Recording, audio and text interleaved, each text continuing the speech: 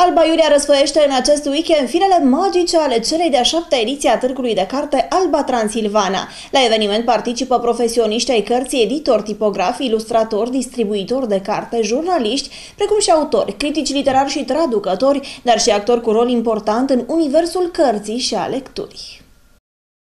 De astăzi și până duminică se vor derula la Alba Iulia în cadrul Târgului de Carte Alba Transilvana activități interactive, lansări de carte, dezbateri, momente artistice, expoziții și multe alte manifestări culturale, având în mijlocul atenției același subiect, cartea. Deschiderea oficială a târgului a avut loc azi în prezența oficialităților locale și județene și a sute de iubitori de carte veniți să se bucure între coperțile acestui minunat eveniment organizat de Consiliul Județean Alba și Biblioteca Județeană Lucian Blaca.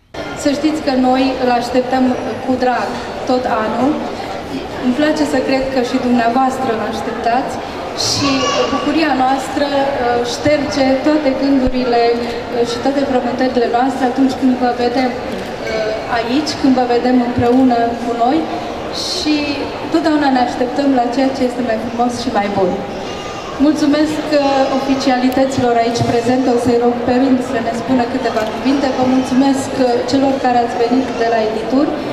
Vă mulțumesc tuturor prietenilor cărții care sunt aici. Vă aștept timp de trei zile uh, să, să fiți alături de noi în această poveste frumoasă care este cartea și care sper eu ca întotdeauna să ne facă uh, buni, frumoși, cu speranță și cu înțelepciune uh, pentru toată lumea. Sper să vă bucure titlurile pe care le veți găsi aici, sper să vă umple sufletul de, de bunătate și de, încă o dată, înțelepciunea pe care ți-o dă cartea. Prieten al valorii, indiferent de forma în care aceasta se exprimă, președintele Ion Dumitre l-a urat bun venit participanților și a făcut un îndemn general la lectură. În ton cu șeful legislativului de Alba, viceprimarul Alba Iulian Dorin Șerdean a felicitat organizatorii pentru acest eveniment, care pune accent pe carte într-o perioadă în care, opinează vicele, contează mai mult valoarea financiară și mai deloc cea spirituală. Hristos să învia și bine ați venit la Amba Iulia, la, la târgul nostru de carte.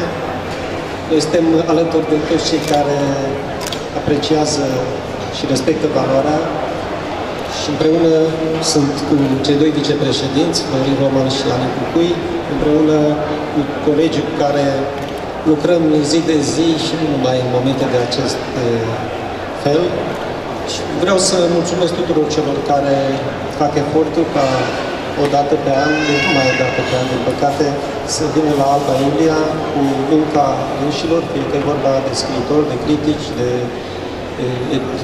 edituri, de toți cei care sunt alături de cel mai important lucru și anume cartea. Sunt convins că albaienii și locuitorii județului Alba se vor bucura de ce oferă editurile în aceste zile și îi rugăm să fie alături de bibliotecă și în bibliotecă cât mai mult în perioada celor 365 de zile de la începerea unui, unui târg la Vă mulțumim, succes tuturor, și cititorilor, și scriitorilor, și tuturor celor care slujiți carte. Din păcate am, am ajuns ca să ne mire normalitatea în societatea în care trăim și asta nu ne face bine. Cred că singurul lucru care nu ne minte este cartea. Asta ca să parafrazez poezia celei care minte, nu ne minte, nu ne, nu ne minte niciodată.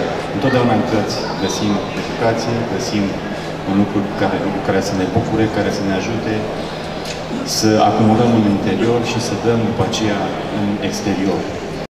Aproximativ 50 de edituri participă la ediția din acest an a Târgului Alba Transilvana, cadru în care vor fi lansate peste 100 de cărți și reviste în prezența autorilor, dar și a unor invitați speciali din partea Academiei Române, dar și de peste hotare. E vorba de iubitori de carte din Republica Moldova, Serbia, Germania sau Canada. Nici micii cititori nu au fost neglijați. Din potrivă, au amenajat un spațiu special de desenat sau citit și un stand de carte numai a lor. Președintele Ion Dumitrel nu a scăpat ocazia de a lua pulsul micuț micuților învățăcei.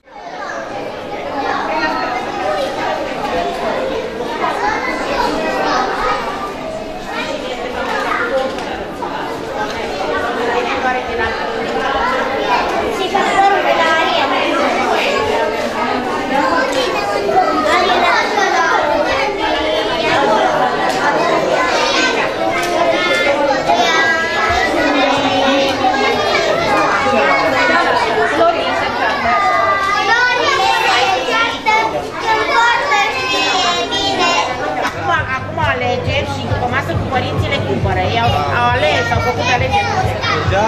Da, și cu care le-au acasă în bibliotecă.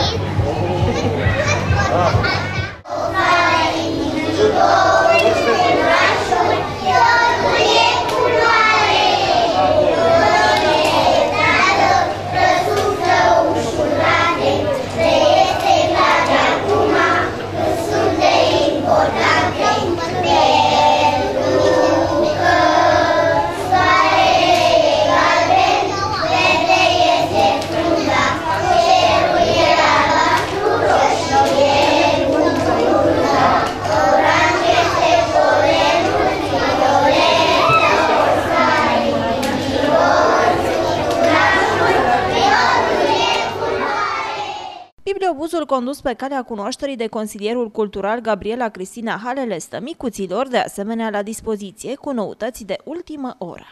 Am avut în jur de 400 de copii până acum, deci toată lumea a plecat super fericită. Se încheie programul la 12, drept care am început mai repede să-i putem Da. prinde pe cei mici mici. Dar acum vin, mai avem, scuze, mai avem, uh, vin copiii de dincolo, vin la noi aici, le prezentăm cartea lui Daniela Ghigeanu.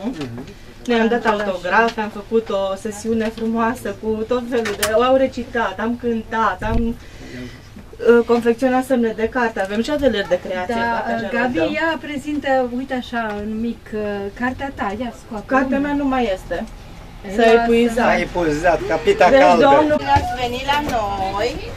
Eu, ia, câte oare Unde vă cineva? aflați voi acum? Da, Unde sunteți? În ce? În autobuzul de căi. Bună ziua! Bine ați venit! Haideți să facem loc și colegilor. Mâine Târgul de Carte Alba Transilvana este deschis între orele 10.30 și 20 și vă propune manifestări dintre cele mai interesante, culminând cu lansarea la ora 12 a volumului Mihai Eminescu Poezii, ce va fi prezentat de academicianul Eugen Simion. Un alt punct de reper al programului Zile de Sâmbătă îl reprezintă recitalul extraordinar de la ora 20 al lui Ion Ghiuri Pascu. Ultima zi a târgului deschis vizitatorilor între orele 10-16 este rezervată scriitorilor din județul nostru. Nu pierdeți însă recitalul de poezie al actorului Dorel Vișan programat în incinta Muzeului Unirii cu începere de la ora 18. Momentul liric este intitulat De vorbă cu Domnul.